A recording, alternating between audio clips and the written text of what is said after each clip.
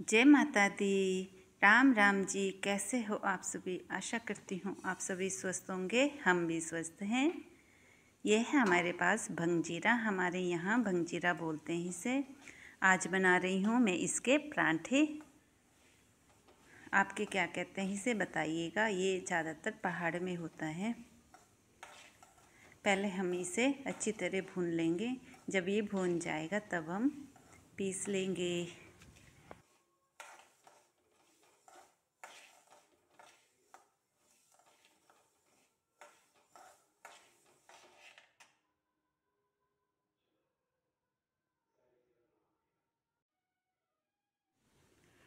अब इसे पीस लेंगे।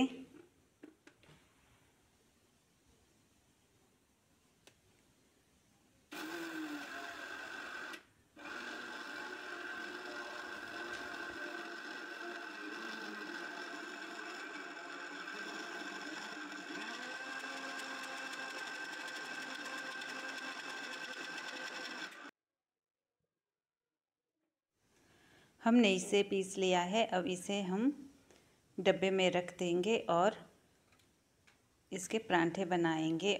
कभी कभी इसकी चटनी खाने का मन करता है, तब भी हम चटनी बना देते हैं और ऐसे भी मैं ये पीस के रख देती हूँ। जब कभी मेहमान आते हैं तो हम इसकी वेडोली भी बनाते हैं, मीठी भी और नमकीन भी, परांठे भी और चटनी भी बनती है। कुछ भी बनाओ आप, ये बहुत स्वादिष्ट होते हैं। इसे मैं डब्बे में रख दूँगी और उसके बाद अखरोट पीस लूँगी।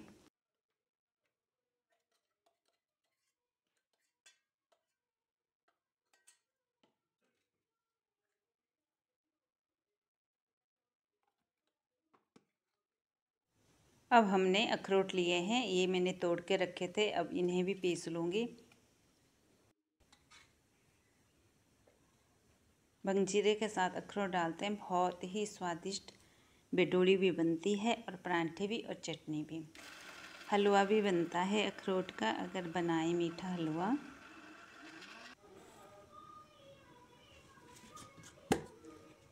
अखरोट भी पीस लिए हमने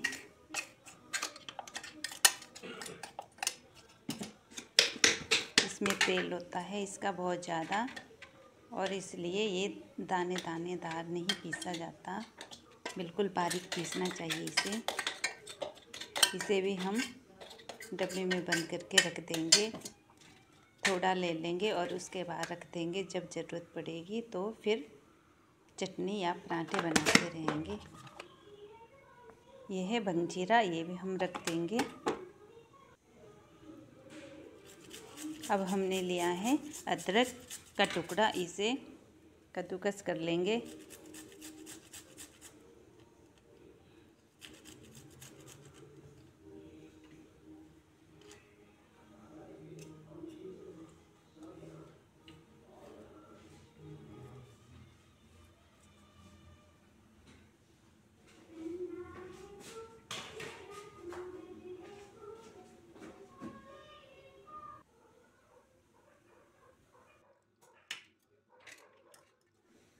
हरा धनिया भी काट देंगे।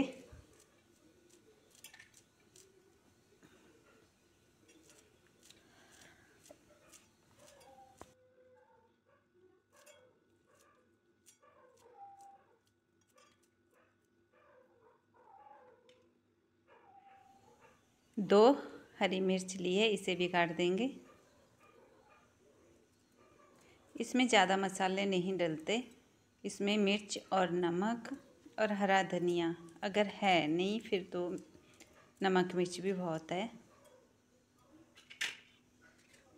इसमें और मसाले नहीं डलते, इतना ही डलता है नमक, मिर्च, अदरक और हरा धनिया मैंने तो अपने स्वाद के लिए डाला है। आप लोग ना डाल सकें तो कोई बात नहीं। अब मैंने इसमें अखरोट डाल दिए हैं और ये डाल रही हूँ भंगजीरा अखरोट मैंने कम डाले हैं क्योंकि गर्मी आ गई है, गर्म भी होते हैं। और भंग जीरा मैंने ज़्यादा सा डाल दिया है।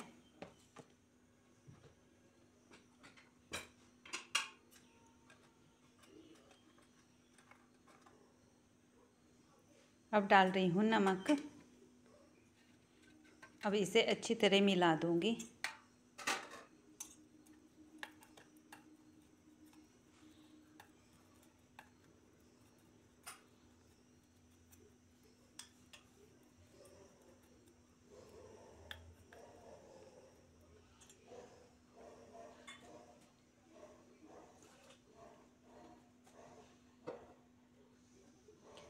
अब इसमें तीन चार चम्मच पानी के डाल दूँगी। थोड़ा गीला सा बन जाए।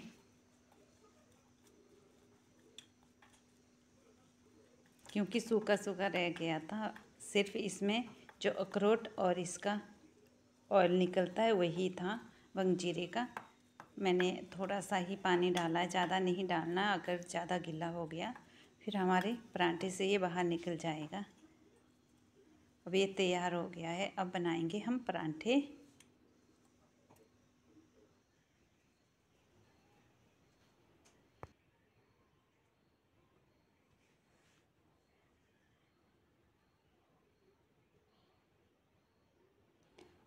अब इसमें हम फिलिंग कर देंगे। ज़्यादा नहीं डालेंगे, थोड़ा हिसाब से डालेंगे जो बाहर ना निकले। मैंने एक ही चम्मच डाला है और इसको अच्छी तरह कवर कर देंगे। कभी कभी इसमें से ये बाहर भी निकल जाता है। ऐसा होता ही परांठे में। चाहे आप आलू के बनाओ, मूली के बनाओ, चाहे किसी चीज़ के, थोड़ा तो निकलता ही है।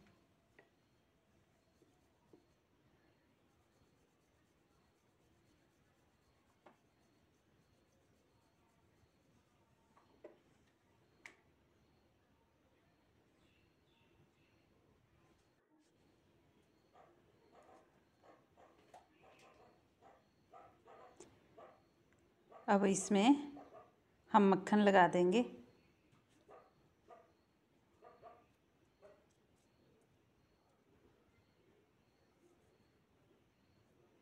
हम तला हुआ नहीं खाते, इसलिए एक तला हुआ बना देंगे और एक सिंपल बना देंगे, सादा पराठा।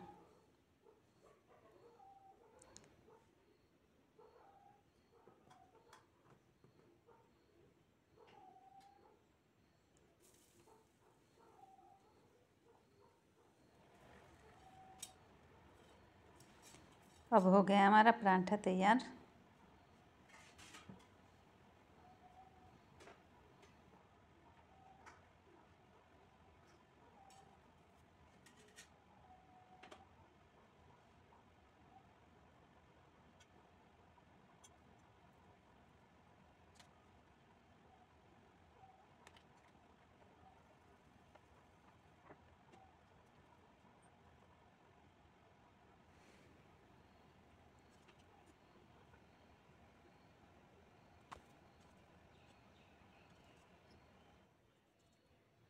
इसमें हमने मक्खन नहीं लगाया है।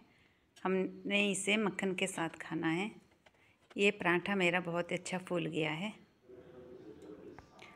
अब तैयार हो गई है खाने के लिए थाली। हमने लिया है मक्खन। और मैंने अभी वीडियो भी बनाई थी गलगल का अचार। ऐसा बना हुआ है। यह है दो पराठे और दही। आप सभी को हमारी वीडियो कैसी लगी? वीडियो देखने के लिए आपका बहुत बहुत धन्यवाद। फिर मिलेंगे। जय माता दी। राम राम जी। अब दिखाती हूँ मैं इसकी फीलिंग कैसी है इसमें। देखो, खुशबू भी बहुत अच्छी आई हुई है।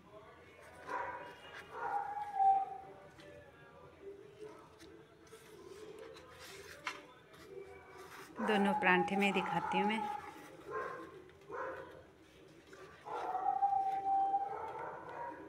बहुत अच्छी फीलिंग की है।